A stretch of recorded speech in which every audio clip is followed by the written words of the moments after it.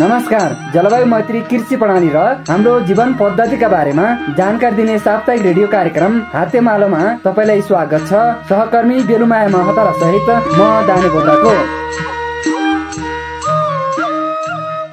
निकटको radio विकटको आवाज सामुदायिक radio प्रणाली आवाज एफएम चौरानब्बे थोप्लो दुई मेगा हासले हाम्रो रैथाने कृषि प्रबन्धन र जलवायु उत्थानशील कृषि बारे जानकारी दिनका लागि हरेक साताको शनिबार बेलुका छ बजेदेखि आधा घन्टासम्म हाम्रो अनलाइन प्रसारण W W W dot radio Karnali Awaaz dot com हाम्रो पात्रो नेपाली पात्र र रेडियो कर्णाली आवाजको फेसबुक पेजमा समेत तपाईँ सुन्न सक्नुहुनेछ।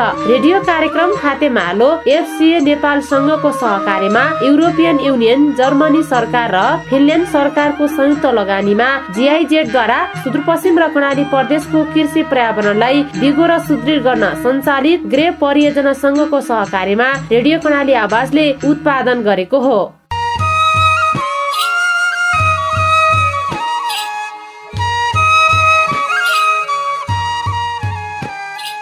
श्रोता कुल जनसङ्ख्याको नब्बे प्रतिशतको हाराहारीमा हुम्लाका नागरिकको प्रमुख पेसा कृषि हो। पछिल्लो समय कृषि क्षेत्रमा आएको वायुमण्डलको तापमानमा वृद्धि कृषि प्रविधिमा आएको प्रविधिगत भिन्नता लगायतका कारण हाम्रा रैथाने बालीहरू कोदो कागुनो चिनो फापर नार्से धान गहुँ उवा जौ लोप हुँदै गएका छन्। मानव शरीरको लागि आवश्यक तत्वको हिसाबले निकै महत्वपूर्ण मानिने रैथाने बाली मौसममा आएको बढ्दो परिवर्तन र घट्दो उत्पादनले पनि लोप हुँदै जान थालेका छन्। यसलाई कसरी बचाइराख्न सकिन्छ? कृषि क्षेत्रमा बढ्दो जलवायु परिवर्तनको असरलाई कम गर्न हाम्रो खेतीपातीलाई कसरी जलवायु उथनशील बनाउने भन्ने बारेमा जानकारी दिन हामीले यो कार्यक्रम प्रसारण गर्न थालेका हौ।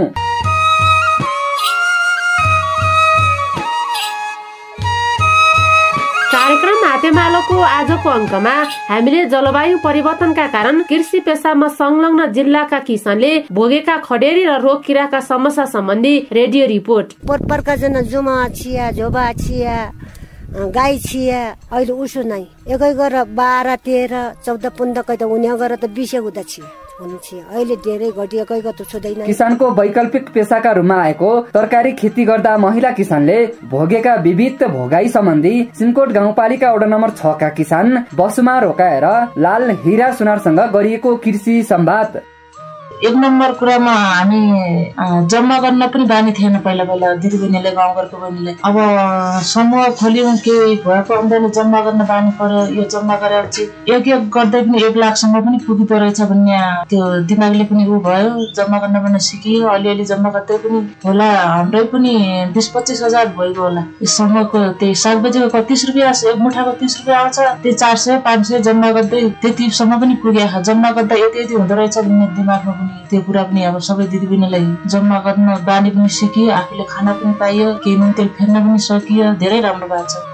लगायतका सामग्री प्रस्तुत गर्नेछौ। तपाईँ भने यो कार्यक्रम छोडेर कतै नजानु होला है।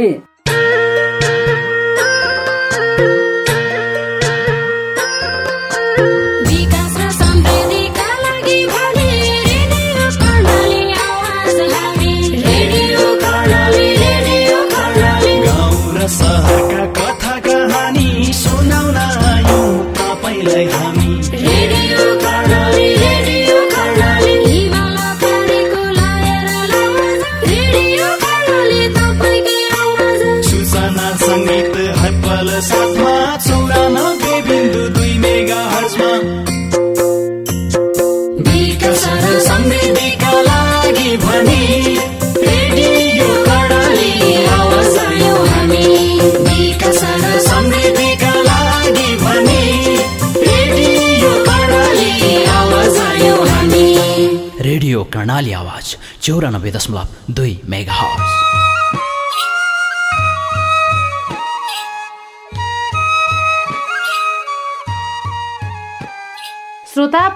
समय वायुमण्डलको तापक्रममा भएको वृद्धिको प्रत्यक्ष प्रभाव कृषि क्षेत्रमा परेको छ। तापक्रम बढेपछि हाम्रो कृषि पात्रमा मात्रै परिवर्तन भएको छैन। हिउँदमा हिउँ कम पर्ने बर्खायाममा पानी कम पर्ने समस्याले थप जटिलता पैदा भएको छ। यसको असर हुम्ला जिल्लाका किसानले समेत गर्न थालिसकेका छन्। थप विवरण हाम्रो सहकर्मी मोहन सिंह बुढाले तयार पारेको रेडियो रिपोर्टबाट।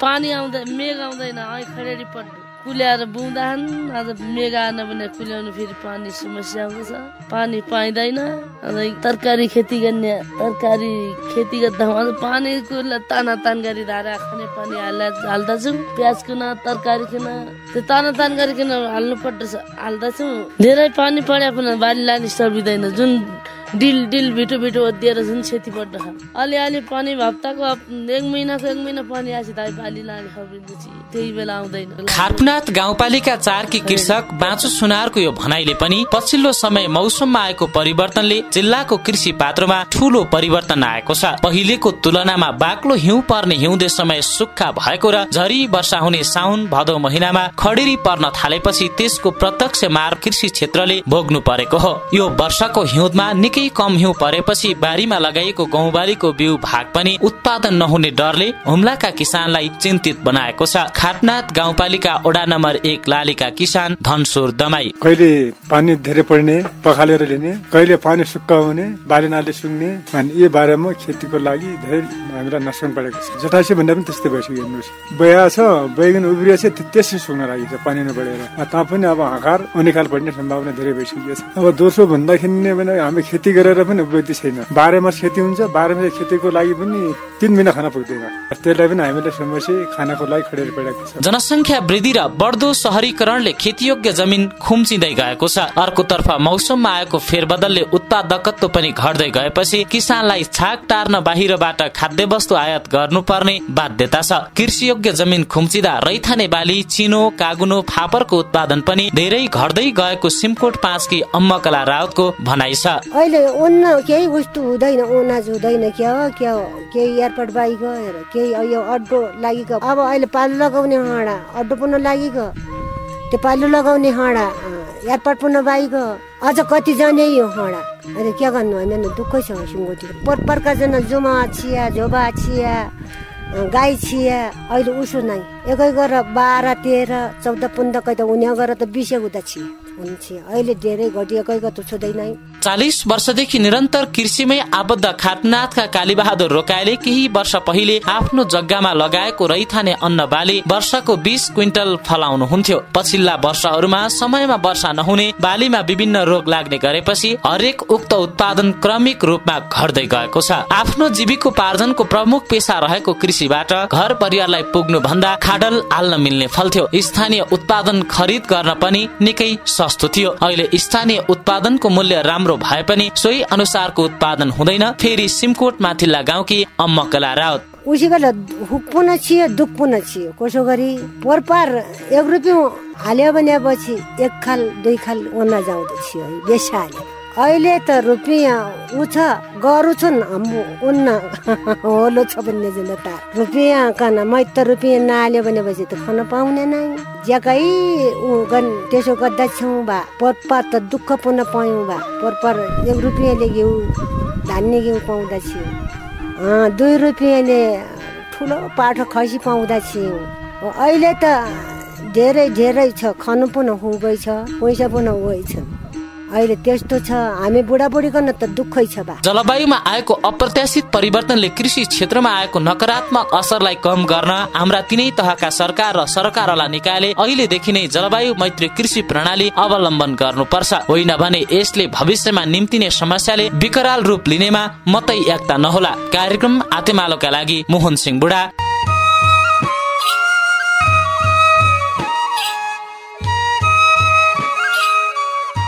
बढ्दो जलवायु परिवर्तनका कारण परम्परागत खेतीबाट अपेक्षाकृत उत्पादन नभएपछि जिल्लाका किसानहरूले आफ्नो खेती किसान अन्नबाट तरकारी तर्फ सिफ्ट गर्न थालेका छन्। यद्यपि तरकारी खेती पनि सहज छैन। अन्न बालीबाट तरकारी खेतीमा लागेका जिल्लाका महिला किसानहरूको अनुभवका बारेमा आज हाम्रा सहकर्मी बेलुमाया महतारले कार्यक्रम हातेमालोका लागि सिमकोट गाउँपालिका वडा नम्बर छ का बसुमा रोकाएर लालिरा सुनारसँग कृषक संवाद गर्नु भएको छ। सहकर्मी बेलुले सुरुमा उहाँहरूलाई आजभोलि के केमा व्यस्त हुनुहुन्छ भनेर सोध्नु भएको छ।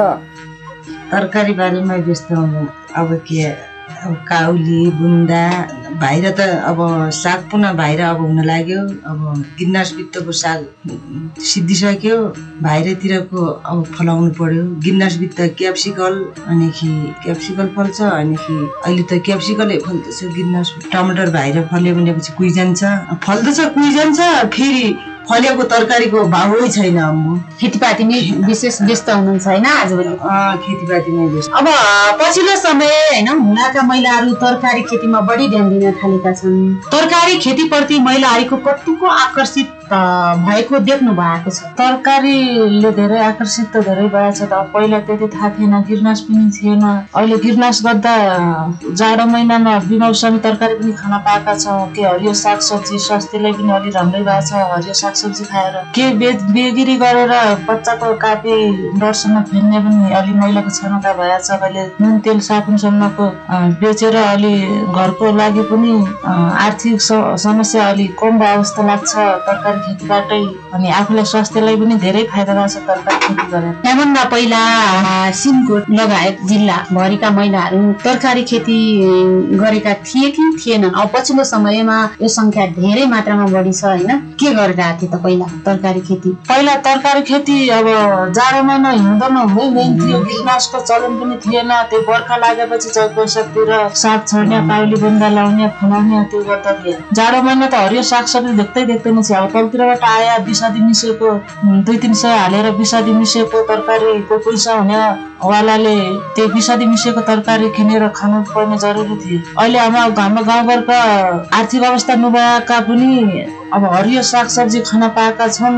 आफ्नै बारी फलाएर आफ्नै उ गरेर जाडो महिनामा साग धनियाँ दुई तिन किसिमका साग धनियाँ हुन्छ जाडो महिनामा। अब गर्मी महिनामा त्यो क्याप्सिकम टमाटर अ, गिर्नसपित्त फलाउँछु अनि काउली बुन्दा प्याज गिर्नसपित्त बेलमा राखेर पनि त्यो भएर फलाउँदा छौँ। हामीले नकिनेरै हामीले खान पाएका छौँ त्यति खुसी छौँ हामी। बेमौसमी र मौसमी तरकारीको बारेमा के थाहा छ बेमौसमी तरकारी भनेको अब त्यो गिर्नसभित्रै उत्पादन गर्न सक्ने गर्मी जाडो महिनाको बेमौसमी तरकारी भयो। बाहिर नुफल लागि नै गिर्नसभित्र तापक्रम गराएर फलाउनेहरूलाई बेमौसमी हुने भयो। अब मौसमी तरकारी गर्मी महिनामा भित्र राख्नु पर्दैन। गिर्नसभित्र बाहिरै फलाउन सकिन्छ त्यही मौसमी तरकारी होला जस्तो लाग्छ।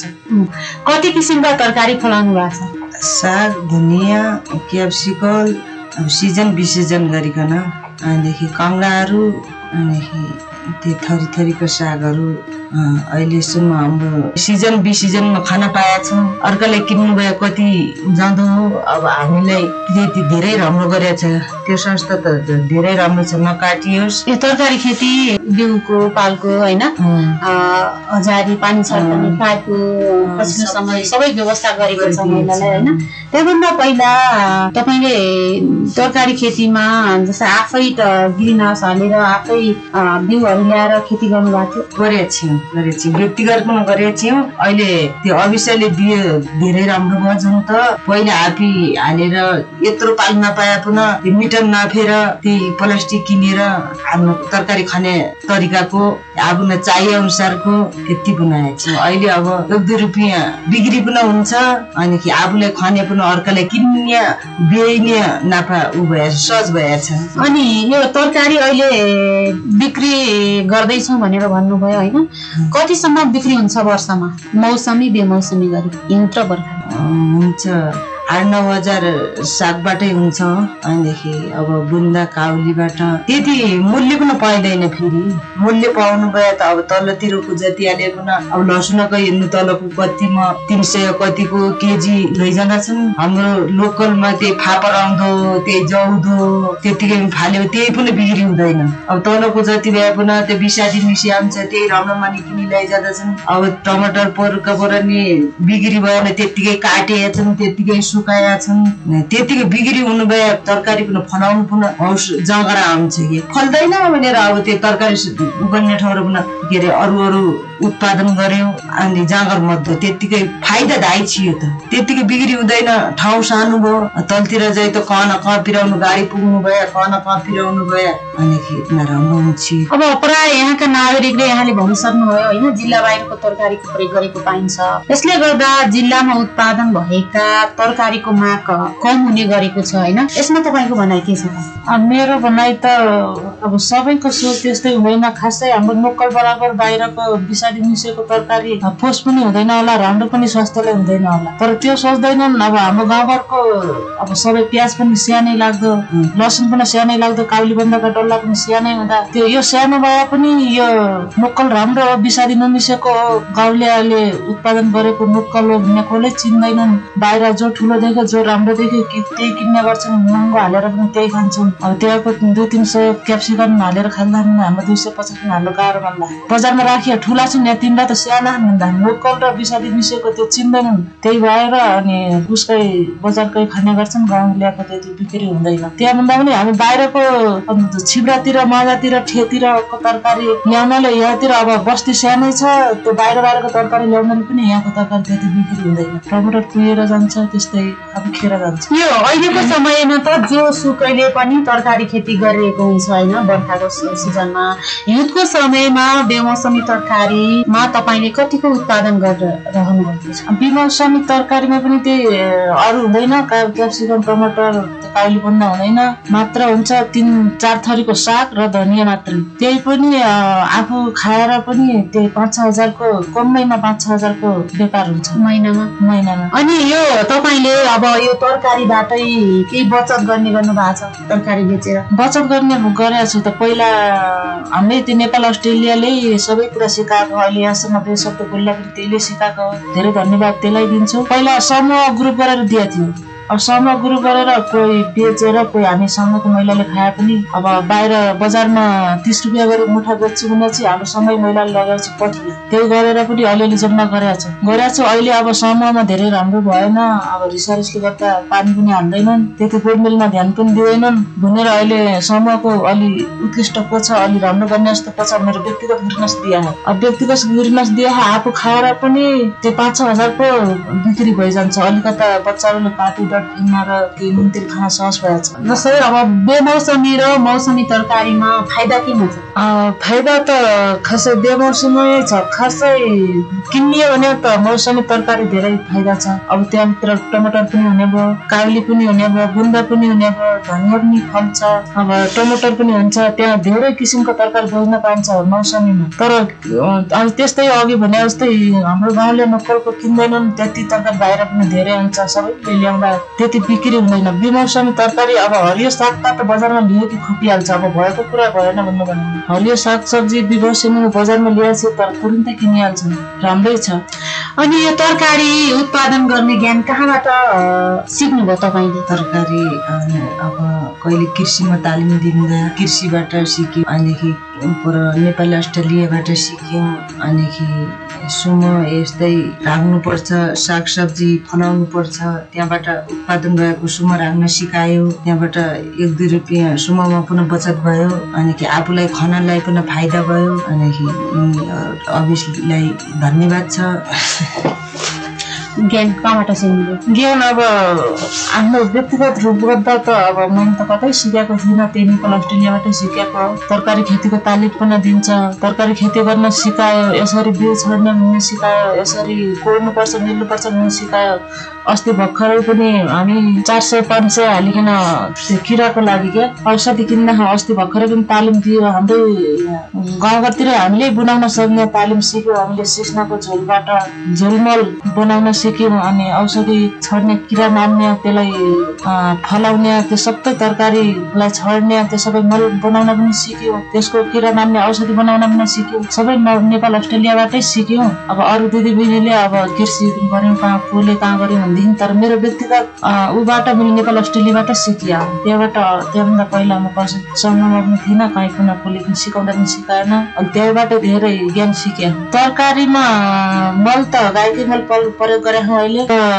किरा मार्ने झोल सिस्नो एक हप्तासम्म कुहाएर सामान्य सिस्नो मात्रै केही किन्नु पर्दैन केही हाल्नु पर्दैन। सिस्नो एक एक हप्तासम्म कुहाएर त्यो जाँड छाने जस्तै छानेर छोक्रा फालेर त्यसको झोल दुई चम्चा झोल त्यसको एक लिटर पानीमा हालेर छरेपछि धेरै मल पनि हुन्छ अरे किरा पनि लाग्दैन गरे त्यस्तै दुई तिन किसिमका अरू पनि सिकेका हौँ।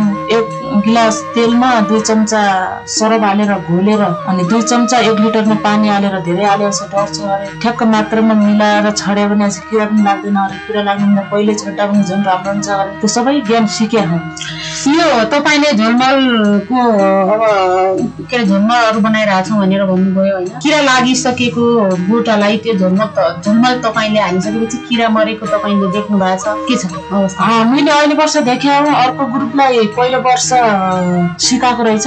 अस्ति त्यो के अरे त्यो मिटिङमा त्यो ग्रुप पनि थियो हाम्रो ग्रुप पनि गएको थियो। त्यसमा अलिकति मिस्टेक भयो रहेछ। दुई चम्चा सरप र तेल घोलेको ल के अरे सिस्नाको झोल दुई चम्चा हाल्नु पर्ने ठाउँमा तिनले गिलासै हालिदिने अलिकति मिस्टेक भयो रहेछ त्यो बुझाइमा त्यो हाल्दाखेरि अलिकता किरा पनि मर्या गरे र काउली बन्दाको पात पनि सुक्यो गरे अब त्योलाई बुझ्दा बुझ्दा अहिले परिवर्तन गरेर अहिले दुई चम्चा मात्रै एक लिटरमा हाल्ने भने अब त्यो हालेको छु तर लाग्नुभन्दा पहिले हालेको छु। अहिले किरा मरेको त थाहा छैन किरा पनि छैन। अब पहिल्यै हाल्दा पनि राम्रो हुन्छ भन्ने भएर अस्ति हालेको छु मैले। अब यति बेलाबाट बुझिहाल्ला कस्तो हुन्छ के हुन्छ। पहिला वर्ष अहिले मिस्टेक भएको थियो।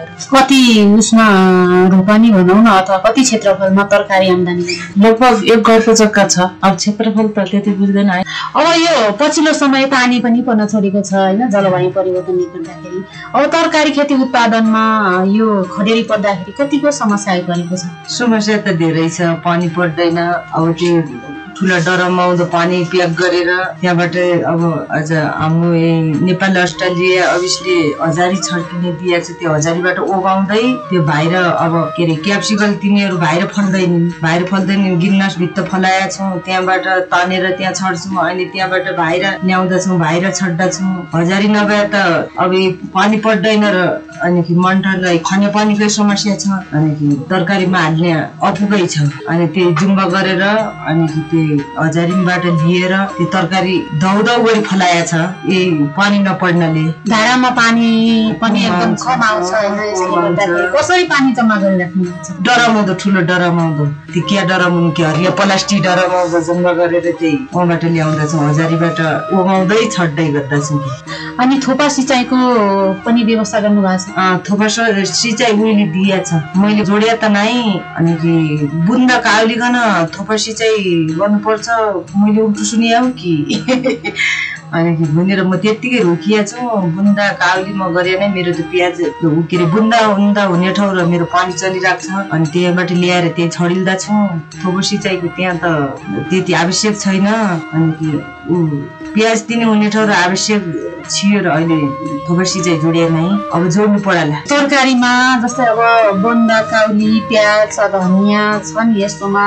काङ्ग्रामा केजीको कसरी बिक्री गर्नुहुन्छ बजारमा गर्नु पर्दाखेरि हामीले त बेच्नु त बेचिया छैन। अहिले भर्खरै अब काङ्डा खाङ्डा रोपिया छौँ।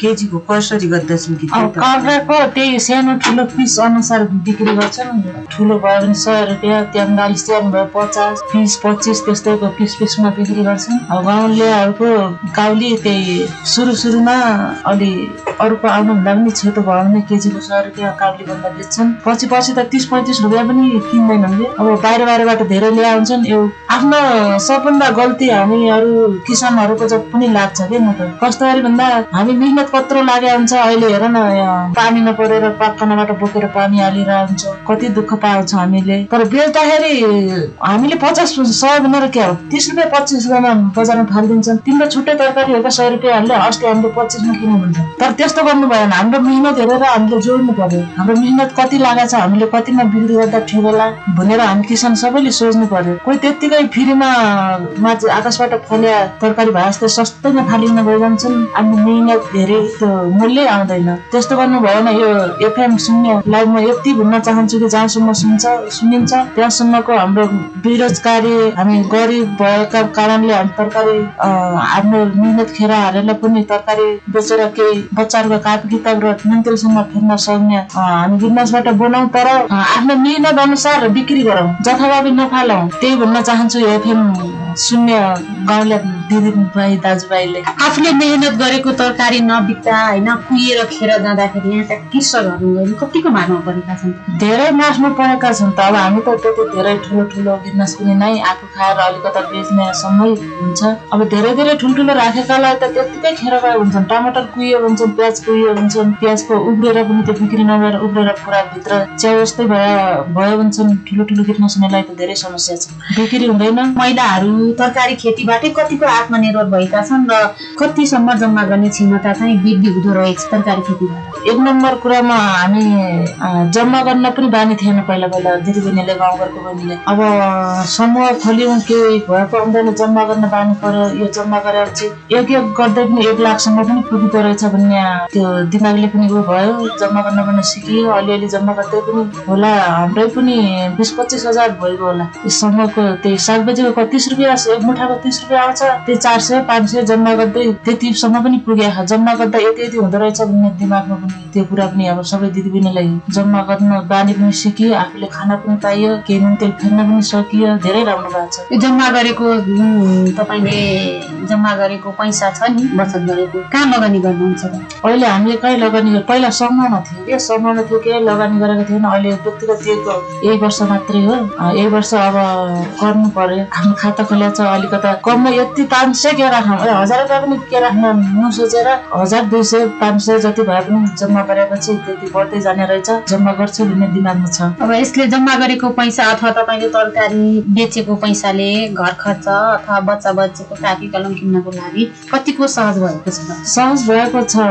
छन त सहज भएको छ। अब बच्चा बच्चीले कापी छैन भने चाहिँ अहिले पाँच छ मुठा साग लग्यो भने उतिखेर पैसा भइहाल्छ। बजारबाट कापी डर किनेर ल्याउँदा पनि भयो। धेरै सहज भएको छ। यो तरकारी बाहेक हुम्लामा नभएका नयाँ उत्पादनहरू फलाउनु भएको छ। नयाँ उत्पादन पनि गरेको छु पहिला क्याप्सिकम पाउँदैन थियो त टमाटर त हुन्थ्यो। क्याप- क्याप्सिकम पाइँदैन थियो क्याप्सिकम पनि फलायौँ। अहिले फेरि फेरि अर्को नयाँ एक दुई बोटा लगाएको थिएँ फेरि भयो चिप्ला भिन्डी चिप्ला भिन्डी कस्तो हुँदो रहेछ भनेर लगाएको त यत्र यत्र भइसक्यो।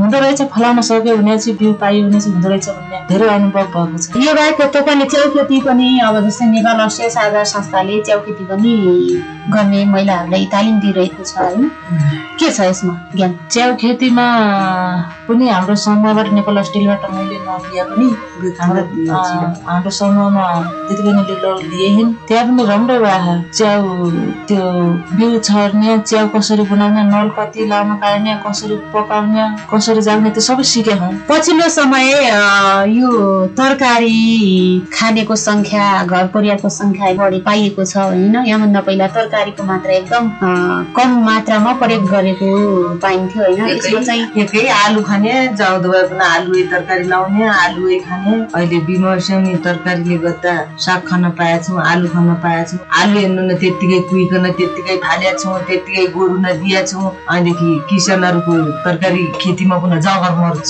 छ कि बिक्री हुँदैन। आलु पच्चिस रुपियाँ केजी गर्दा पनि त खप्दैन त। अहिलेदेखि आलु बुनु पुन कुन गरिल्यो अहिले त? खप्दैन बिक्री हुँदैन त्यतिकै अब पुरानो राखेर पनि कम छैन।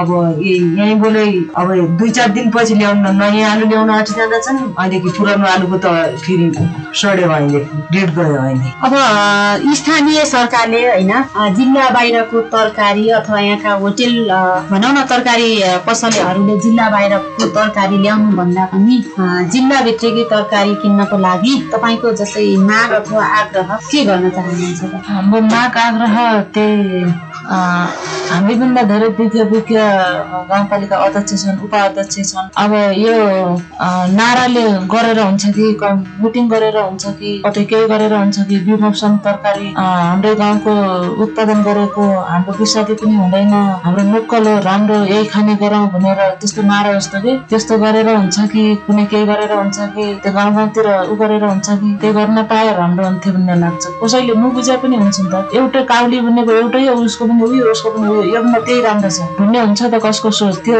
सोचलाई परिवर्तन गर्नको लागि उसले नथाहा पनि हुनसक्छ त्यो थाहा दिनको लागि सुझाव सल्लाह दिनको लागि उपाध्यक्ष अध्यक्षले पनि मिटिङ सिटिङ गर्न नभ्याए पनि अब यो एफएम त हाम्रो हुम्लामा सबै ठाउँ त सुनिन्छ नि। यहाँ आएर यहाँ एफएमबाट कुरा राखेर केही गरेर हुन्छ कि त्यो गर्न पाए राम्रो होला जस्तो लाग्छ।